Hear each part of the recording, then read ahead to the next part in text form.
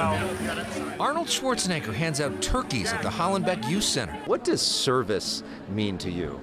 Well, giving back is, is to me everything. Arnold's been donating turkeys here for more than three decades. But for me, the whole year is about sharing. He says that love of giving began when he was a young boy in Austria. His father, a police officer, was assigned to a refugee camp filled with Hungarians fleeing Russians in 1956. So he told us kids, he says, You come with me, we're gonna go and uh, help them. My brother and I were handing out soup in the meantime.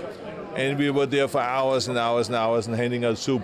All of these years later, um, it is still in my mind. You recently met one of those Hungarians that you helped, right? Yeah, yeah, there was a woman that came up to me at the restaurant and she said to me, she says, my parents were there. It is something that will stay with you forever and it still, still stays with me. And I think that's why the reason why I'm always so adamant about giving back to the community is because of that event. Another reason?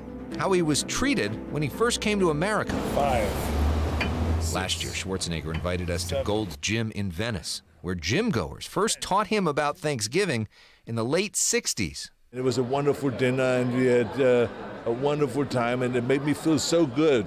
And then the next day, people from the gym came over to my empty apartment, kind of, was just a bed there and a couch and the table, and they brought sheets and they brought the silverware and they brought the dishes and they brought food and a radio and all of those kind of things, and they equipped kind of my my apartment. So the generosity of the American people was so was so extraordinary. Look at that couple. He's tried to repay that for decades. Oh yeah. With a special emphasis on helping military veterans. I'm going to show you inside one of these right now. In 2021, we joined him as he first saw the tiny homes he donated to homeless vets. I'm really ecstatic. I'm so excited. In 2022, we joined him in Bell Gardens as he celebrated his after school initiative.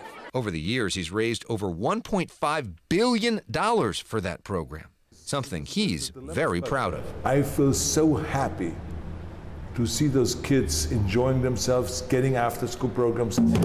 Going forward, he's committed to more work on that program and more visits here in East LA. It's good for you to be here. You know, I always love you to be part of everything.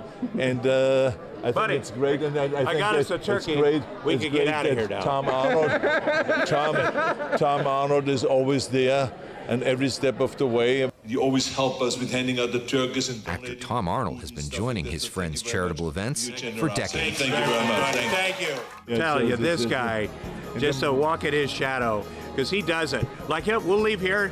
The last time we left here, he, I go, where are you going? Well, I got to visit firefighters in Northern California. I go, you aren't running for office anymore. That's how he lives his life, like he is running for office all the time.